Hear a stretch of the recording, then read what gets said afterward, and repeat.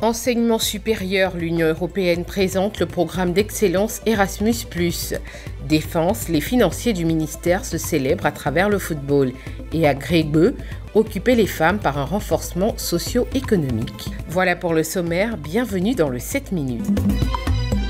L'Union européenne a présenté le lundi 31 janvier dernier au corps enseignant et administratif du pôle scientifique et d'innovation de l'Université Félix Houphouët-Boigny d'Abidjan à Bingerville le programme d'excellence Erasmus+.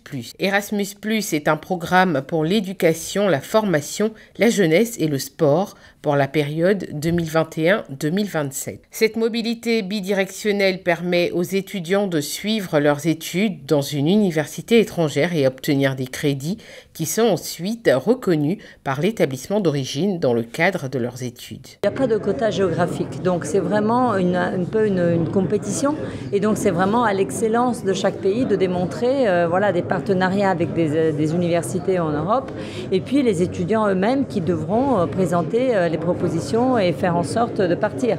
Donc euh, non, on ne veut, veut pas discriminer entre les pays, donc tout le monde a la même chance. Ce programme vise à soutenir les actions dans le domaine de l'enseignement, de la formation, de la jeunesse et du sport pour la période 2021-2027 en faveur des étudiants, stagiaires et du personnel administratif comme les enseignants. Qui dit mobilité vers l'extérieur, donc vers l'international, dit renforcement de capacité. Et nous, nos universités, on veut hisser nos universités vers euh, euh, le haut, d'accord, et au niveau international. Pour ce faire, on a quand même besoin que nos étudiants partent euh, ailleurs pour voir ce qui se fait, profite de ce qu'on ce n'a pas ici et qu'on a euh, ailleurs en Europe, euh, tout simplement parce que bon, ces universités sont quand même un peu plus dotées de, de, de matériel que nous, on n'a pas ici. Erasmus finance des projets de mobilité et de coopération universitaire associant des partenaires issus de pays participants au programme et de pays partenaires dans le monde entier. 17 000 milliards de francs CFA seront alloués à l'Afrique subsaharienne. Le football pour célébrer l'excellence pour la cinquième édition de la journée du financier organisée par le ministère d'État, ministère de la Défense. Les militaires des forces armées de Côte d'Ivoire, tout grade confondus, ont troqué leurs treillis et armes pour les crampons et maillots de football. C'était le 2 février à l'état-major général des armées dans la commune du Plateau. Dame Coupe était convoitée par huit équipes issues des différentes structures financières des armées. C'est une joie immense de, de toujours retrouver les, les supérieurs, les subalternes, tous ensemble autour du sport. Parce que nous travaillons beaucoup, on réfléchit beaucoup. Donc de temps en temps, quitter le bureau et venir se détendre comme ça pour toujours renforcer les liens de cohésion entre, euh, entre collaborateurs c'est toujours un plaisir. C'est pour cela que j'ai vraiment tenu à participer à, cette journée. On dira toujours merci donc à cette journée qui vraiment promeut l'excellence au sein des, des armées de Côte d'Ivoire. La cinquième édition du prix d'excellence, aussi appelée Journée du financier, est célébrée chaque année. L'édition 2022 se tient du 2 au 3 février. La deuxième et dernière journée, donc le 3 février de cette célébration, sera marquée par la remise des prix d'excellence au personnel du ministère de Défense qui se sont bien illustrés au cours de l'année écoulée, ainsi que le trophée du tournoi de football. 574 TPE ou PME et des acteurs du secteur informel, soit 318 femmes et 256 hommes, bénéficient d'une formation aux outils du digital à travers le projet Ijaouli. Ce projet est piloté par la Chambre de commerce et d'industrie et financé par l'Union européenne avec l'appui d'Expertise France. Objectif, assurer et soutenir la compétitivité des très petites et moyennes entreprises à travers la mise en place des dispositifs résilients et innovants en matière de digitalisation. Aujourd'hui, on vient de bénéficier de la formation Ijaouli sur le digital. Vraiment, c'est pour nous un instrument vraiment puissant pour nous permettre d'avancer entre nous et nos clients. Le projet est entré dans sa phase active en mars 2022 et il n'est qu'à sa première session.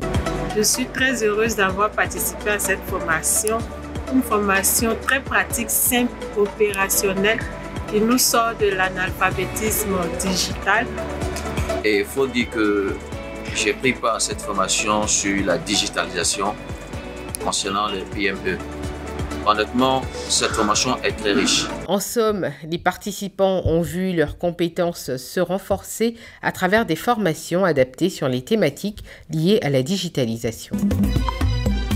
Et pour finir, à Grégbeu, dans la région du Haut-Sassandra, les femmes vont sur les sites clandestins d'exploitation d'or, ce qui les expose sur tous les plans. Pour faire face à cette situation, l'ONG Vie Sacrée, avec l'appui financier de l'ambassade des États-Unis, a initié le projet dénommé Renforcement socio-économique des femmes artisanes minières de Grégbeu.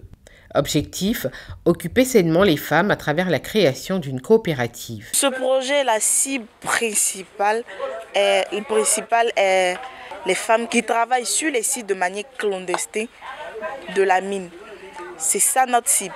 Et en second cible, ce sont toutes ces femmes-là qui sont en association au niveau de Grébé pour pouvoir diversifier euh, les cultures au niveau de la coopérative que nous allons créer.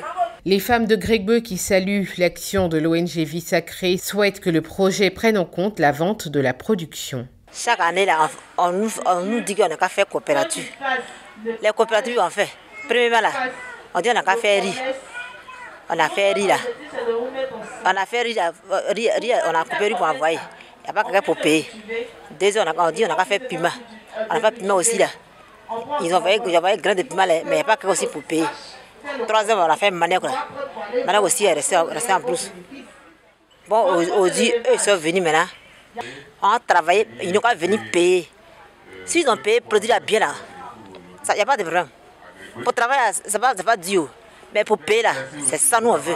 Payer ça bien, puis nous on est content. Parce que c'est là, maintenant là, nous on n'a pas cacao, le champ de cacao est mort, on n'a rien. La terre là, on fait manioc, on fait, on fait, on un peu de trucs. Nous, nos enfants sont à l'école, on est là, on complète nos maris puis ça avance un peu, un peu. Ce projet, qui s'étend sur un an, permettra d'éviter les risques auxquels s'exposent les femmes de Grégbeu en allant sur les sites d'exploitation d'or, mais surtout de garantir leur autonomisation financière. C'est la fin de cette édition. Merci de nous avoir suivis. L'information continue sur cette info.